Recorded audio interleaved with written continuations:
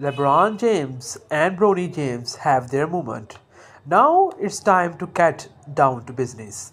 Hello everyone and welcome to this short and to the point audio podcast. The stage was perfectly set for LeBron James and his son Bronny to make history as the first father-son duo to play in an NBA game during the Los Angeles Lakers season opener against Minnesota on Tuesday.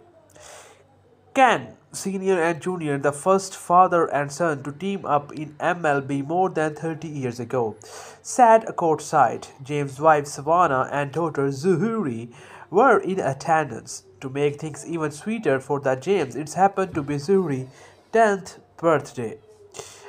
Uh, Lakers coach JJ Redick knew he was going to sub in Bronny late in the first half. The moment came with 4 minutes left in the second quarter and the Lakers up by 16 points. Father and son walked over the score table and ripped off their warm-ups. The sold-out crowd at Crypto.com Arena stood and cheered. Zhuri clasped her hands together and Greeny grinned widely. The following few minutes were less eventful. Bronny missed both of his short attempts, including a three-pointer of a pass from his father.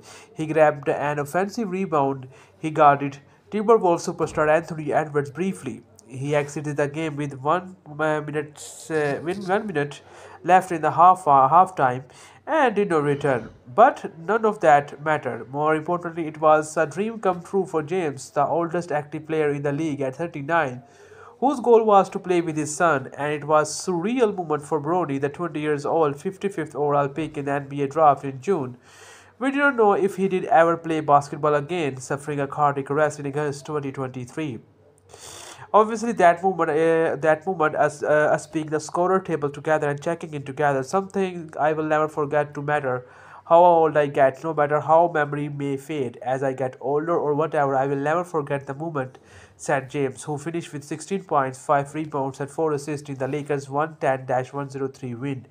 When both uh, uh, James and Bronny were not playing, they sat next to each other on the bench. Few times James covered his face with a towel as he spoke to his son, so no uh, obtrusive cameras could expose his words. After the game, James and Anthony Davis whose lockers are next to each other talk football, talk football as they dress, which uh, often transpires after wins. Bronny got dressed, dressed silently. The James and Bronny's walked into the interview room together and sat next to each other at the podium as they answered questions from the media. James was asked to recall how he felt ahead of his first game as a rookie with the Cleveland Cavaliers in 2003. At the time, he was only 18 years old, who had already been dubbed the chosen one.